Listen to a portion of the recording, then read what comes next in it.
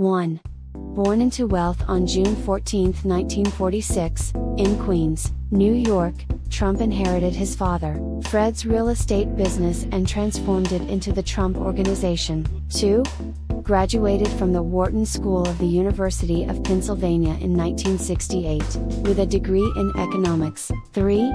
Cemented his prominence in New York, real estate with the renovation of the Grand Hyatt Hotel in 1980, and the construction of Trump Tower in 1983. 4.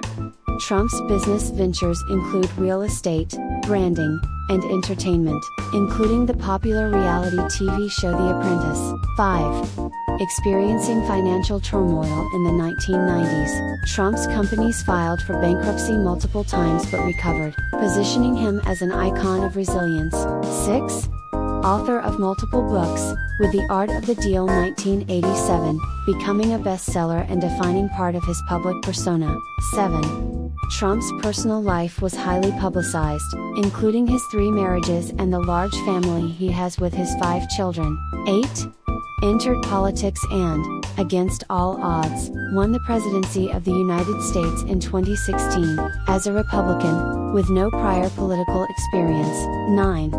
His presidency from 2017 to 2021 was marked by controversial policies on immigration, tax cuts, and a unique approach to foreign policy. 10.